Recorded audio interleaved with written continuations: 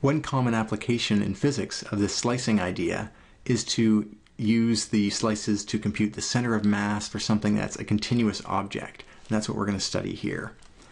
The center of mass, for those who haven't seen it before, can also be thought of as the balance point. If you imagine some long rod and putting a, a support or a fulcrum in the middle of it, there's going to be one point exactly where if you put that fulcrum there, the rod would be perfectly well balanced. We can then make it more challenging by adding a weight to one end of that rod and maybe a smaller weight to the other one. And if we do that, we'll find that the point we need to balance at will be moved towards the larger mass. Now, how does that work out in terms of calculations rather than intuition? If we have point masses, which is what we just talked about here, having one mass and then another mass, then the center of mass can be calculated using this formula here. This is called x bar. And the bar over top of a value typically means, not universally, but typically means an average or a mean value, if you like. You'll see that use in statistics next year. You'll have x bar, or the center of mass, or the sort of average mass location here in the case of center of mass calculations. And it equals the sum of the individual masses here. So remember, the sum here indicates we're adding up mass sub i. So if we have three masses, we'd have mass 1, mass 2, mass 3, and we'd add those up. So this denominator equals the total mass. The upper side is exactly the same except each mass is scaled by its location. So we pick some axes and we say, well, where is this mass in x? Where's this other mass in location, uh, in x location? And then we'll add those up, and this calculation will give us the location of the center of mass. And this is often called the first moment or the moment for the uh, center of mass calculations. Let's do a quick example here. We have two people, and I will extend my artistic abilities to their utmost. Uh, a mother and a daughter sit on opposite ends of a three meter long fulcrum. Daughter's a little bit smaller. Excellent. The mother has a mass of 60 kilograms and the daughter weighs 20 kilograms. If we ask where to put a fulcrum, well, it should be somewhere along here and it should be somewhere towards the mother side of the uh, slide or the balance beam, but we don't know exactly where until we do the calculation. Let's find that out using this uh, moment and total mass calculation. So what we have to do is define our own coordinate system. The most reasonable one would be that x equals zero down here at the mother's end of the uh, mother's end of the swing or the teeter-totter, and x equals three is where the daughter's mass is located. Now this might seem a little bit weird at first. We'll do the calculation because if you look at what we're going to do here, the top part is going to be uh, x for the mother times the mass of the mother. And we'll get x of the mother in our axis scale here is 0, and the mass is 60. And if you think about that for a second, that seems very odd that the mass of the mother is actually going to get canceled out right away by multiplying by 0. So you'd think, then what does it matter what mass is at this end of the uh, teeter totter. Well, fortunately, that 60 also appears elsewhere, so this 60 gets wiped out. We also have the other two ingredients for the daughter. This would be the mass of the daughter and the location of the daughter. And this would be the mass of the daughter. I won't write it all out. And then we divide by, here's the key thing, the total mass 60 plus the 20. So even though the mother's mass is sort of wiped out in the moment calculation, the mother's mass does play a role in the overall value of the center of mass. And when we take a look at the calculations here, we're going to end up with 60 over 80, which is equal to 3 quarters. Okay, what does that mean? 3 quarters of the way along? No, this is an x value. We defined x to be 0 here and 3 where the daughter was located. So not one third along the way, but actually three quarters of a meter from the mother's end of this teeter totter is where the perfect balance point would be, where the center of mass of these two people lying on a, on a massless board would lie in this system. Now those point mass calculations tend to be fairly straightforward. You have a list of points, you plug them in, and you get an answer. However, many problems in physics and chemistry have things spread out in a much more continuous way. There's not just points.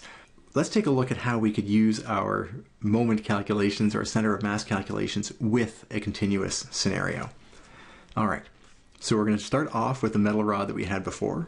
So a two meter long metal rod, and that two meter long metal rod has increasing density as we move from left to right. Now, the challenge there would be if it had constant density, well, the balance point would be right in the middle. However, if the density is increasing from left to right, then we're in a bit of a different situation. We expect that there's more mass on the right, and so the center of mass, the balance point, would be actually somewhere a little right of center. And the question is exactly where would that point be? Well, what we can do is convert our earlier problem of point masses to this by imagining, wait for it, slices. We're going to slice up this bar, and each slice can be treated like one point mass. Okay, so the center of mass, x bar, is going to equal let's do the approximation first. Sum of xi's times mass i over the sum of the masses. And for our purposes, we can calculate that as the integrals of mass of a slice and the integral of x times the mass of a slice. Okay, so then we have to start talking about our slices and there's no delta x or dx yet here, so we're to have to slide that in as part of our slice. But we actually did this before. The slice mass, which is in kilograms, is going to equal the density, which is kilograms per meter, times the width of the slice, width or length, uh, which is in meters. So the units work out perfectly. And so our density was 3 plus 0.5 x's. Our width of each slice is a very small interval, delta x, and then we can pop this into both of our integral points, here and here. So we're going to have that our center of mass is equal to the integral start slice to end slice, 0 to 2, x is equal to 0 at the left and goes to uh, 2 at the other end, of what? Of 3 plus oh, hold on here, be a little bit careful, x times the mass on the top, just the mass on the bottom. That's a key difference, easy to get tripped up. All right, and then at the end there's a delta x that converts to a dx. So this is x times this whole thing here, delta x times the density, is the mass of the slice. And then likewise, we have an integral on the bottom, no x here, just the mass of the slice, 3 plus 0.5x dx. So that is our conversion from the center of mass formula, which is just add up the masses on the bottom, add up the masses with their location multiplied. We're going to do that in integral form, top and bottom here, and see what we get. Uh, a reminder from an earlier example, that the mass was just 7 kilograms. So the more interesting part we have to focus on here is the bottom. So it's all over 7. We have the integral here of 0.25, sorry, 0 to 2 uh, of 3 plus 0.5x times x. So it's worth actually expanding that out first. So we'll have 3x plus 0.5x squared. And we'll just carve this up a bit here. dx and the 7 that came from the mass in the bottom, we can just bring that out front, 1 seventh. 3x squared over 2. Integral of x squared is x cubed. So 0.5 x cubed over 3. All of that is over the 7th, so we have 1 seventh multiplying all of that. And we're going to evaluate that at 2 and 0. And if we do the calculation with that, we're going to get approximately 1.047 meters. And as always, if we can, we try to do a little sanity checking on that.